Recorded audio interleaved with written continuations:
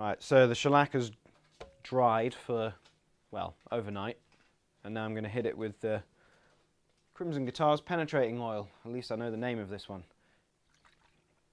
That's a reference to the previous video where I couldn't remember the name of the protractor.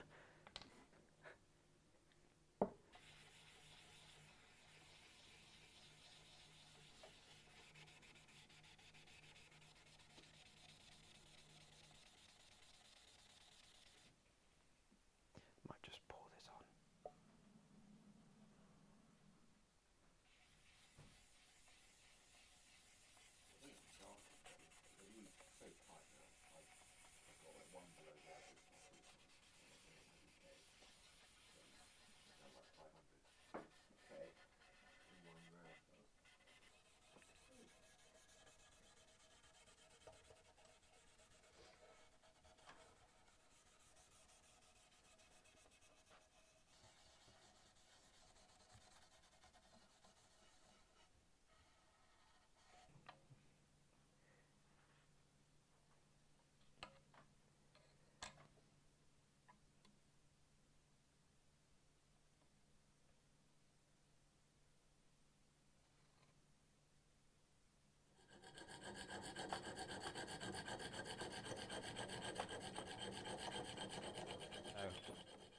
Now the nut is the same width as the neck. I'm going to mark 3 mil from either side.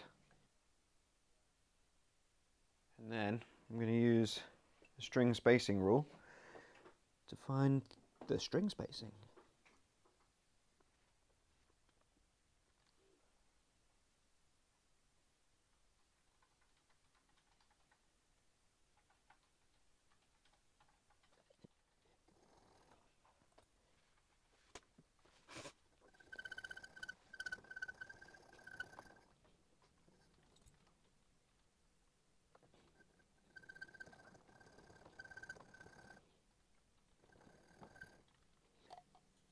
So with each file I'm just going down to the line at the minute and we can finesse it once it's on the instrument.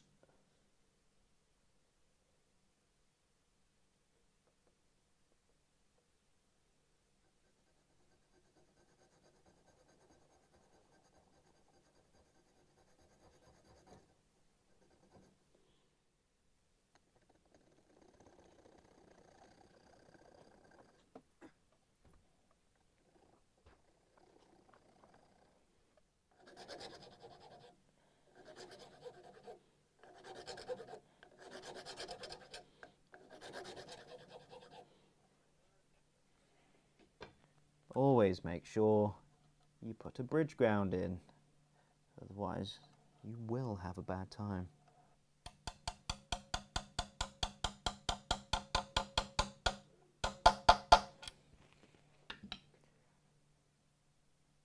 There we go.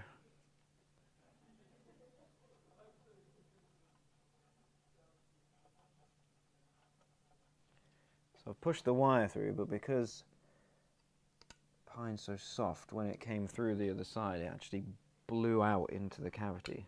So it just got stuck. But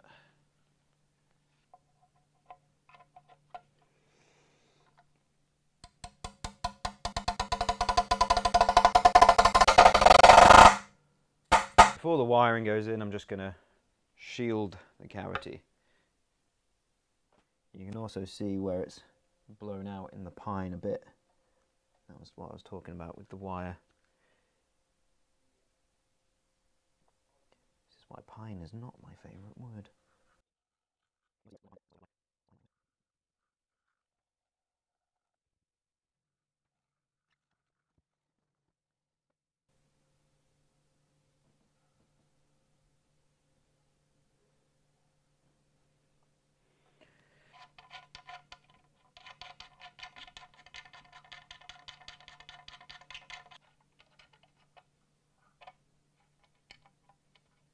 always like to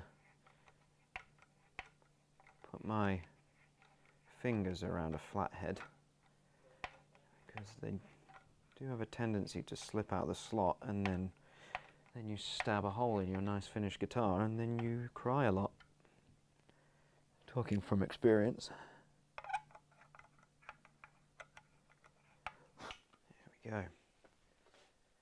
Just going to mark for the uh, direct mount screws for the P90s. Pop that in. Use one of the screws. Not whack it with the hammer, just a little tap so that I can see where that's marked on the inside of the cavity.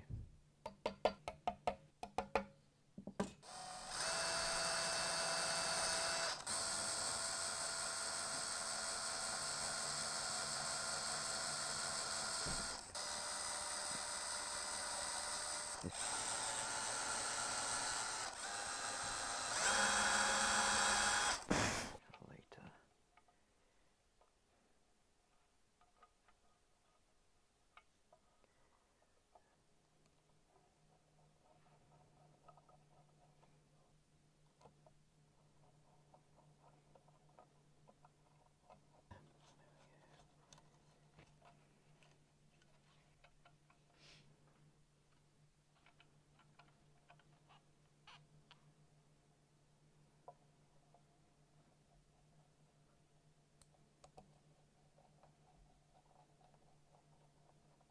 Okay, so my dilemma is Ben drilled this hole before the neck was glued in.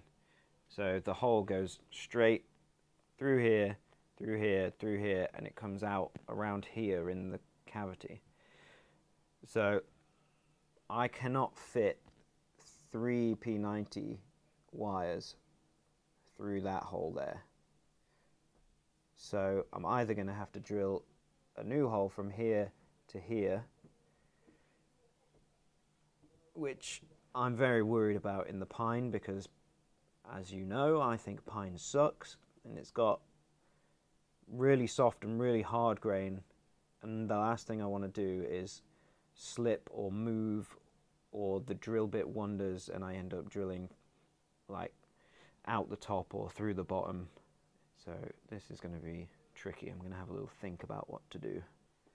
Alright, so what I'm going to do is I'm going to mark with tape where roughly where this P90 bridge is. If I just tape around the guitar and I'm also going to mark on the back the distance from the edge. So it's about 70 mil. So if I just mark 70 mil on the back on the tape, I should be able to come in from this way which is a little bit scary because you're heading towards the top, but it actually gives me a shallower angle with the long drill bit into here, rather than going from the top where I run the risk of coming out the back of the guitar, which is not what you want at this stage. I will cry and Ben will kill me, so... And I'll be on my own. And then Sam will be all alone in the custom shop. Here we go, squeaky bum time. Let's move the wire out of the way.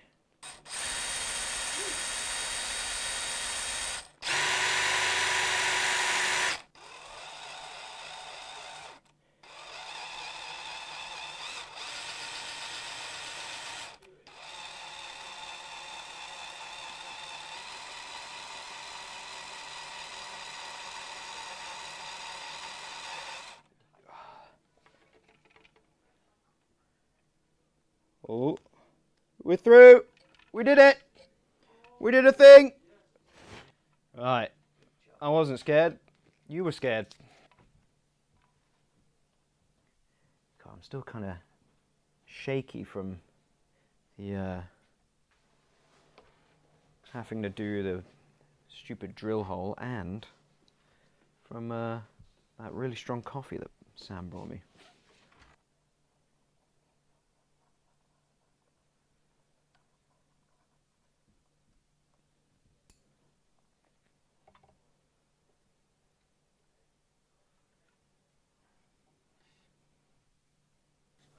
I could do the wiring myself, but Sam will be faster. One last thing to do before I hand it off for wiring is put the tuners in. Um, I suppose I could do that after wiring, but yeah, these have been drilled to 8, 8.5 and they're just a little tight. a little too tight. I'm just worried about hammering these in and cracking something. So I'm just going to ream them a little bit, half a turn.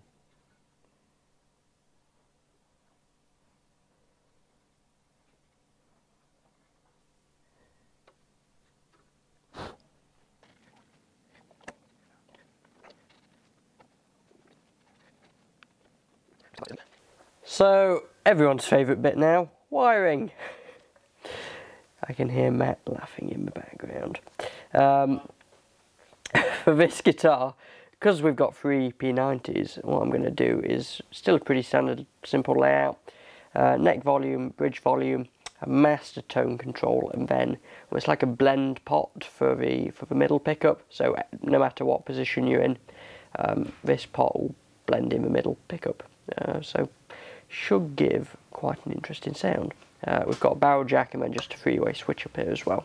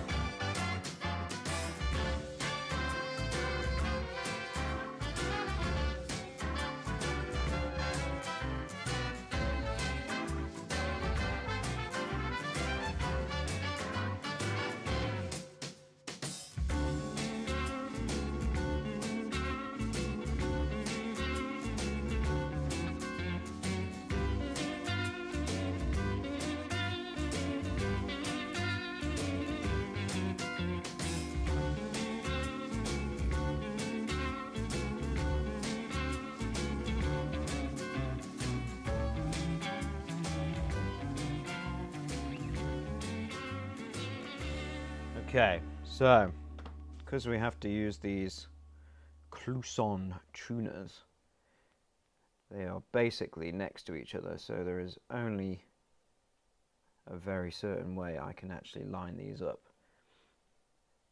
So they're going to be more in line with the curve.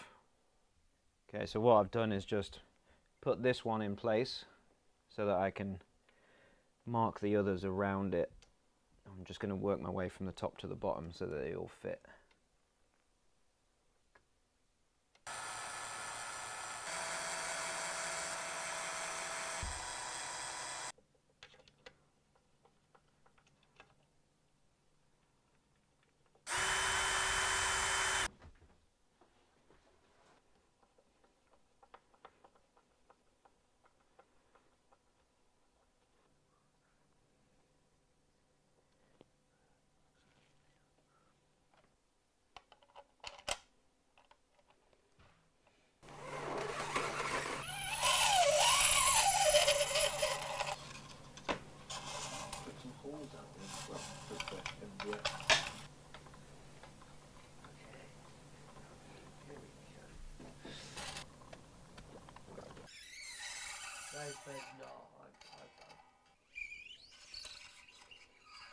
Um, got a card. Yeah. Okay.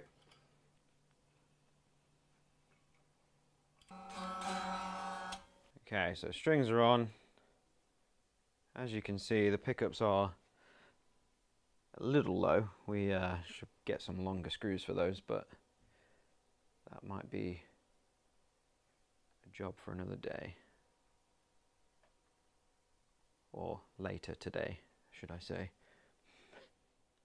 One thing that does need tweaking is the nut height. They're all really high at the minute, so I'm just going to take those all down.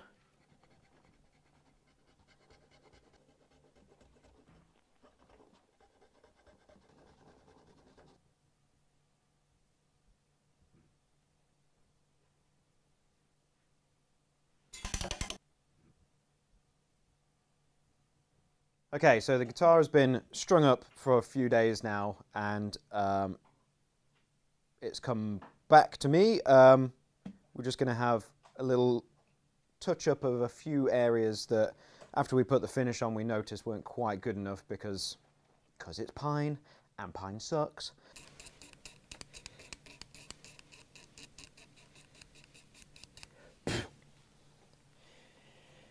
Just cleaning up the glue splurge out around here. Splurge out is a technical term, yes.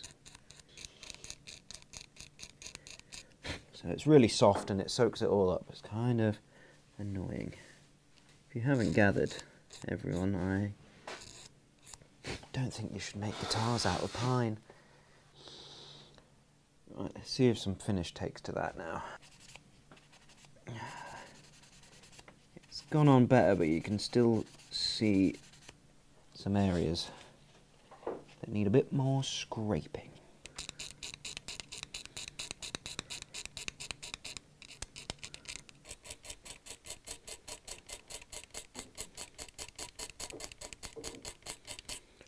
It's a lot darker than it was before, which means I've, it was basically all glue before. Hopefully our amazing editors can show you a, a before and an after.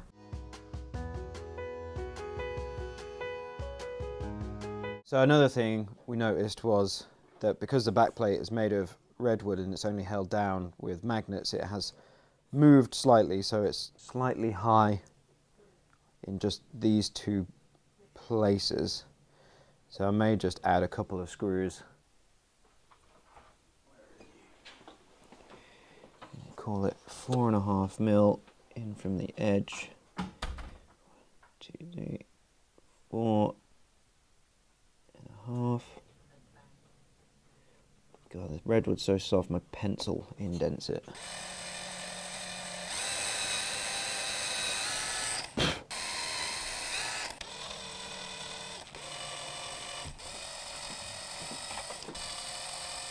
just going to see how these screws hold this down see if I need one here, which I might do, just in the corner.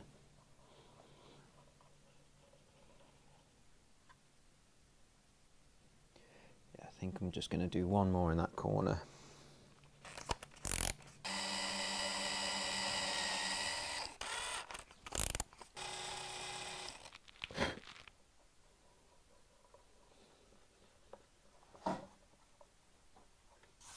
Good, that's more flush now.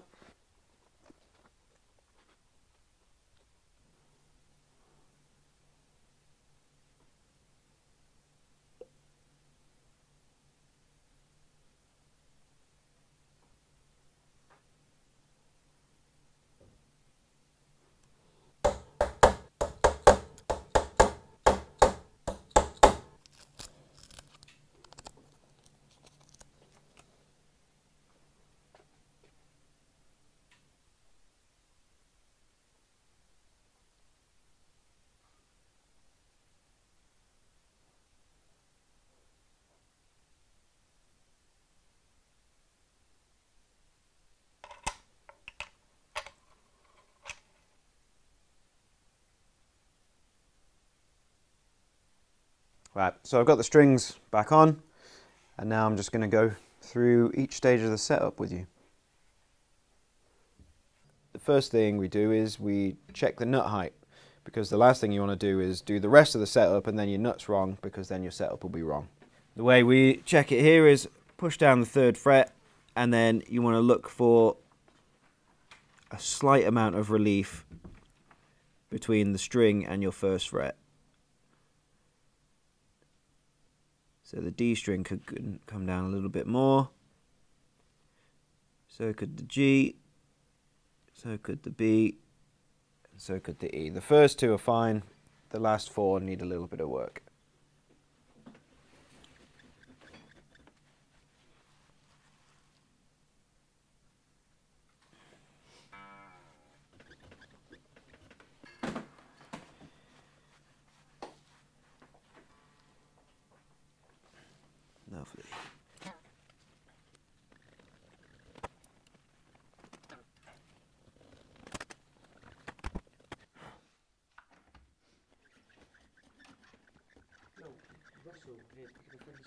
Oh yeah.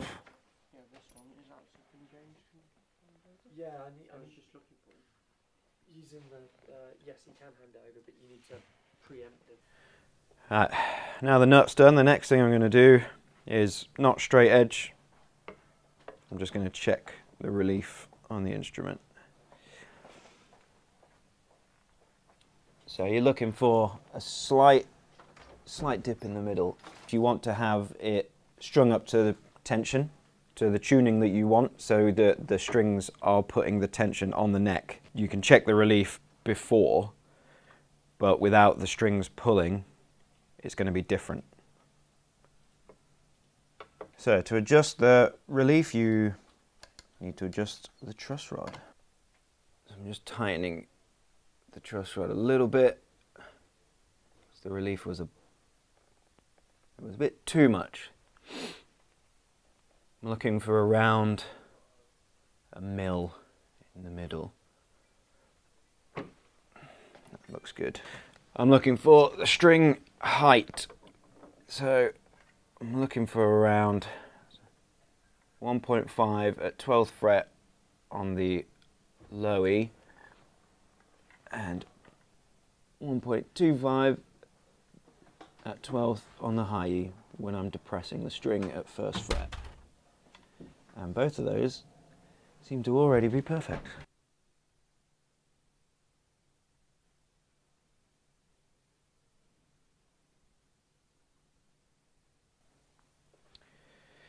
Um, one thing we, we didn't mention was uh, changing the radius of the strings. Obviously the radius on a Tune-o-matic is already kind of set.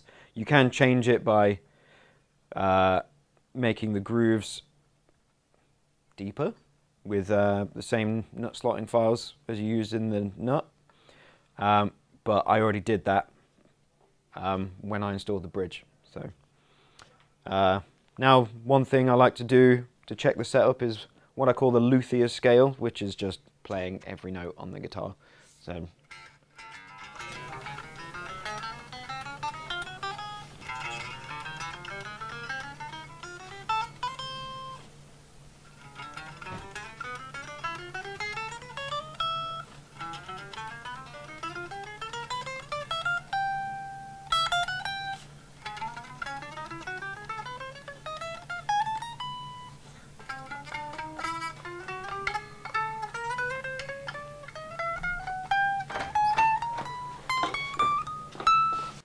So one last thing to do on the setup is uh, just adjust your pickup heights. Again, I'm going to use the string gauge.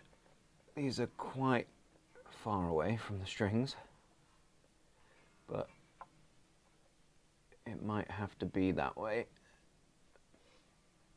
as the screws we have may not be long enough. Yeah, that's as high as they go. okay, so the old screws and sponge. We're not cutting it, so I uh, have put some thicker sponge in there and some longer screws. So now we're getting closer to where these pickups need to be in terms of height. Far clear. Beforehand, they were around seven mil away, and now they're at three, which is a lot better, a lot closer. which Sam says is fine.